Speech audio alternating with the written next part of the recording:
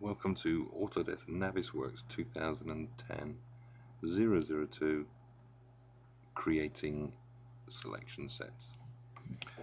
Right, as you can see I've just got a normal model imported into my workspace and what I want to do is to create a selection set of certain, certain items.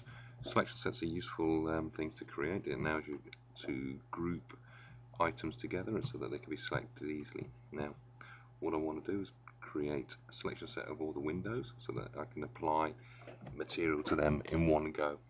Um, first of all I'm going to use find items, general item, name that contains, I'm just going to type in windows,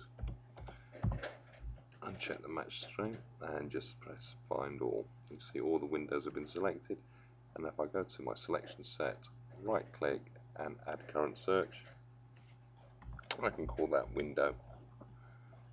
Press enter. And just to select that works. Select them. And I can hide everything else. Therefore easily to to use in timeliner easy to use in presenter. Very useful uh, tool